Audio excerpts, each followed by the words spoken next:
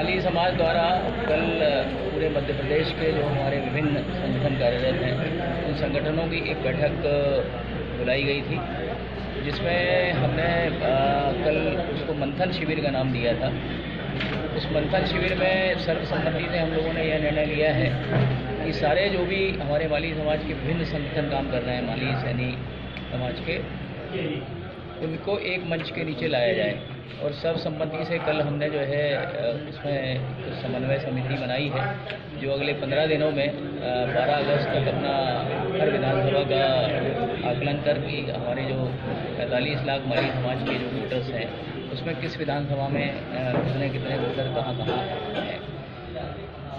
बारह अगस्त को हम ये तय करेंगे कि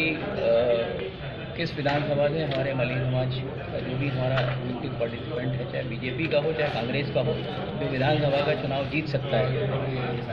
उसकी दावेदारी हम जो है दोनों पार्टियों में और साथ ही हमने ये भी तय किया है कि यदि कोई पार्टी टिकट नहीं देगी तो हमारे लोगों को हम निर्दलीय लड़ाएँगे निर्दलीय लड़ा करके जो है, हम जहाँ हमारा बाहुल्य है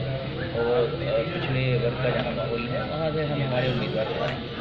सर उसके लिए क्या चुनाव प्रचार भी करेगी अब माली समाज? क्या पूरी रणनीति रहेगी? क्योंकि बैठक तो हो चुकी है सिर्फ़ नामों का। आना बाकी क्या पूरा आपने एक पूरा प्लान तैयार बारह अगस्त को वो इसमें विस्तृत रणनीति तैयार की जाएगी। बारह अगस्त को हमें ये पता लग जाएगा कि किस विधानसभा में हम डिसाइडिंग फैक्टर है हमारा समाज कहाँ कहाँ जो है